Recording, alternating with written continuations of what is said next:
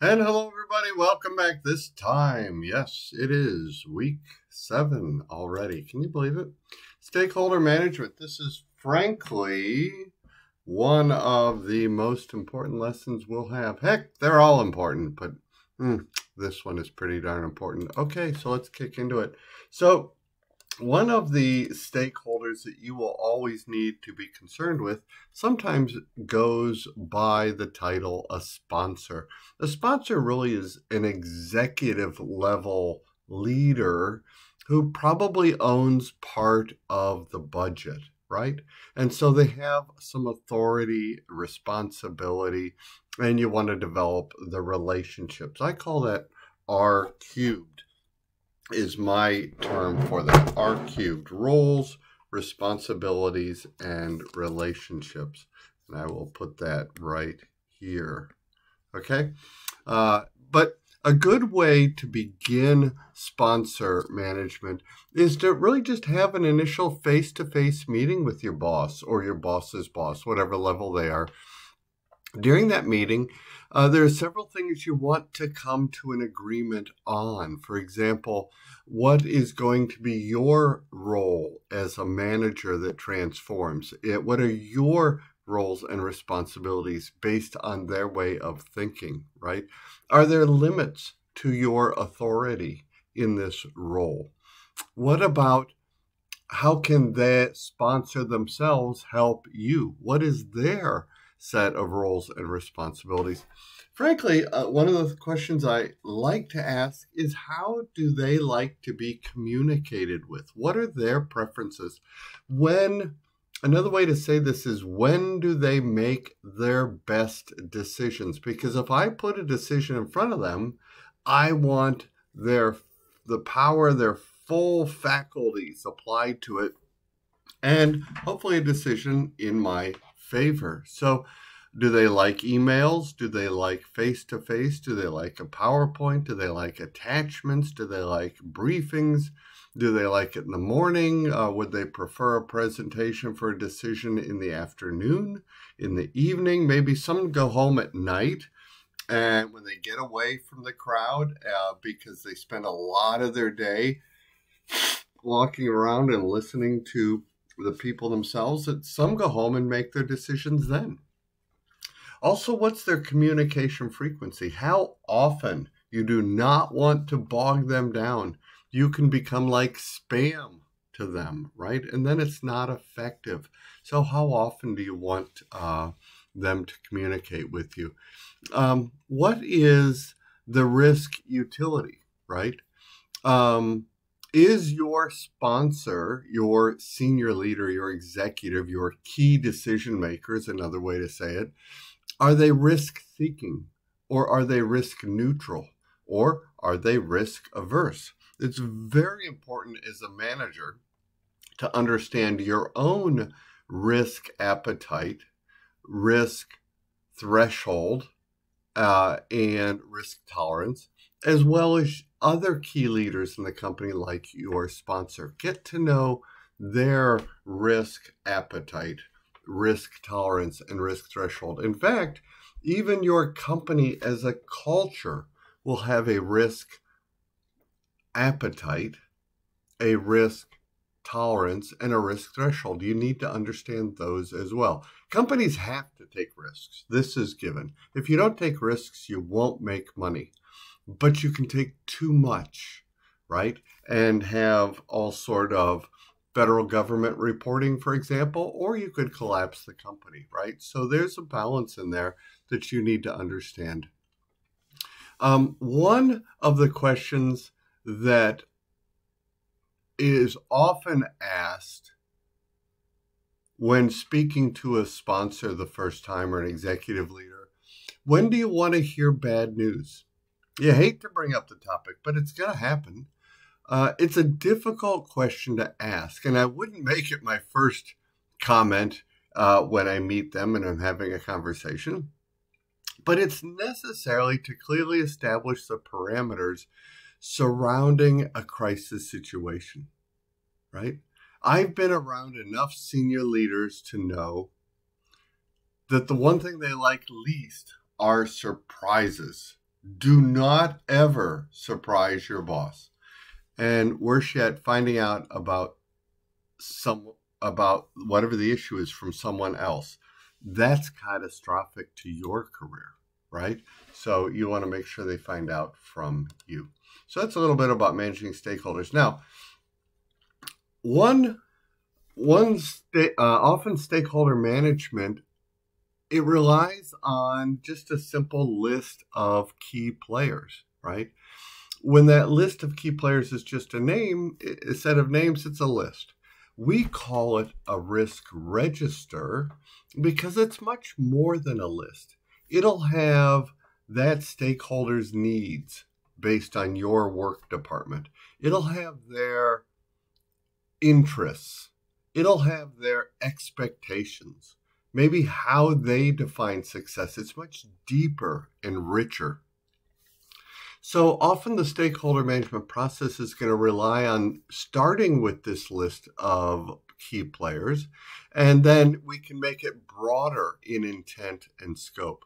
And so we want to identify how this engagement is going to work.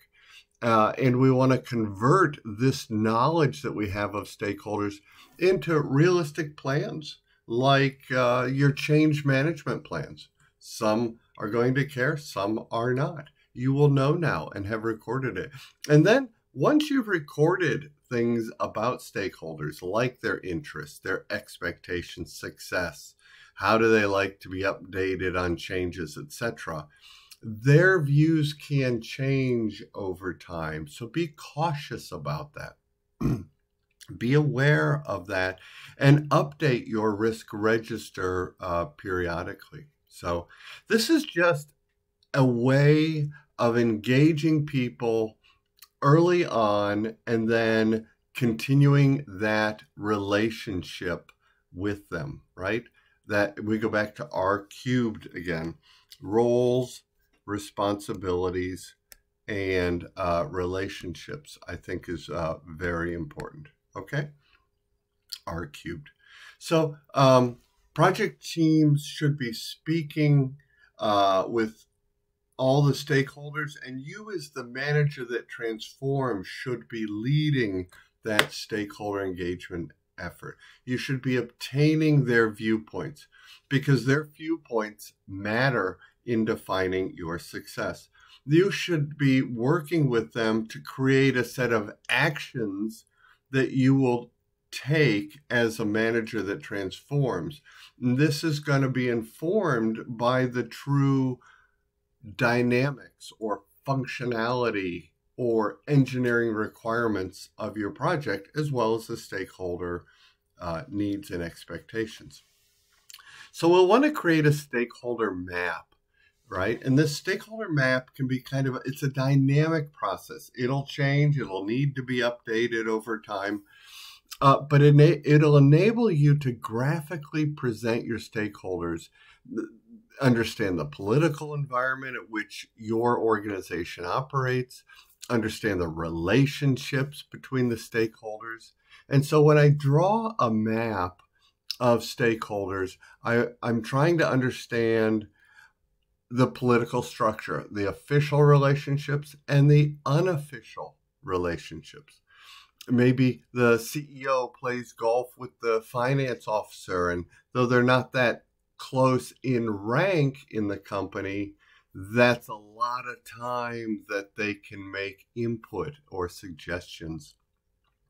Uh, I want to uh, work work back from those who must who who have to change, right? Who really are antagonistic towards my workspace, or maybe focus on those who have the authority to make changes that I want to make, right? And get them to partner with me. I want to identify these sort of stakeholder pressure points. Okay. Um, and I want to understand shortfalls in their commitment to my organization. Uh, maybe uh, do they have sufficient or inadequate influence? Uh, do they have a, a, an abundance or a lack of institutional power? Do they have good communication or not?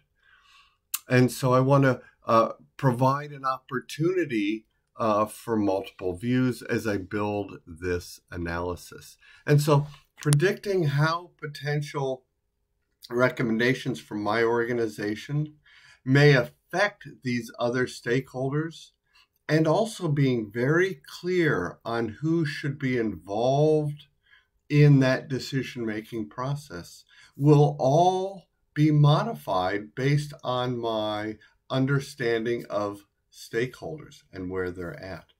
And so, as I mentioned, this is dynamic. I would update this map uh, over time. People do evolve. And I would make sure I engage a wide set of uh, people for input or insight. So, this is kind of how uh, you could map them. A good way to figure out how to place stakeholders. So, everything we do is change driven in the modern world eh, because we are managers that transform.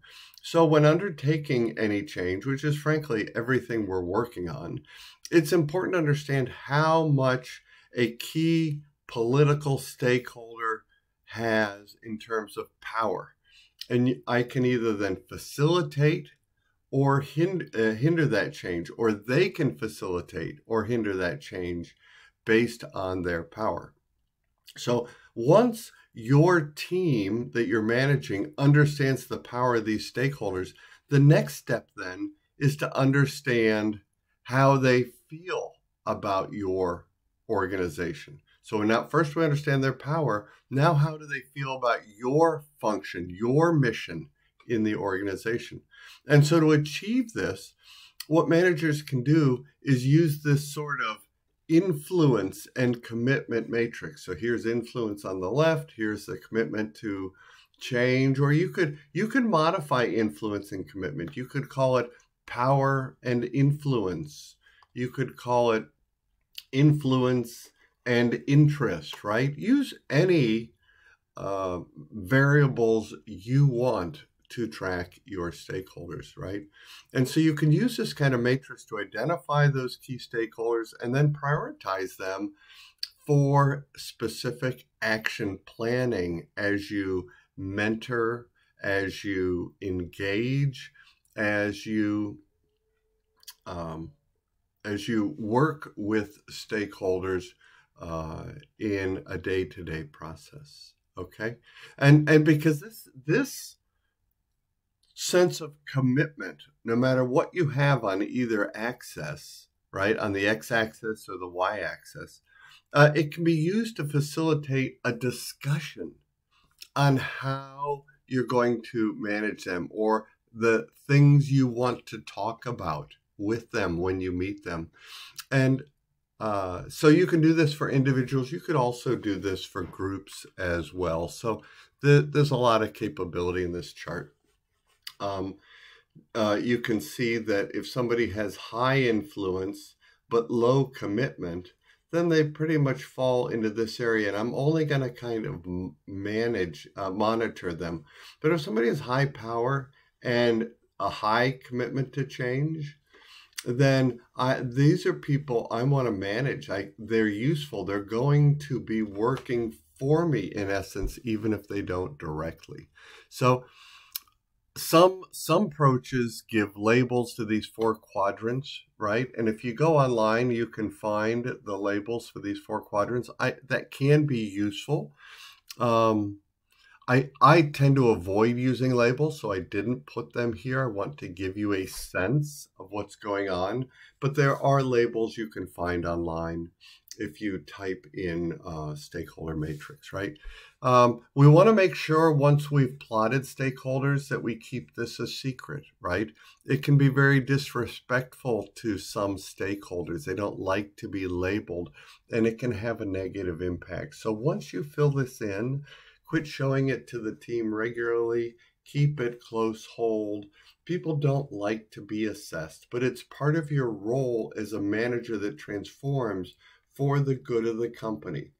You need to know who to leverage when uh, to maximize your function. Okay, that's it for part one. We're going to come back for some more in a minute.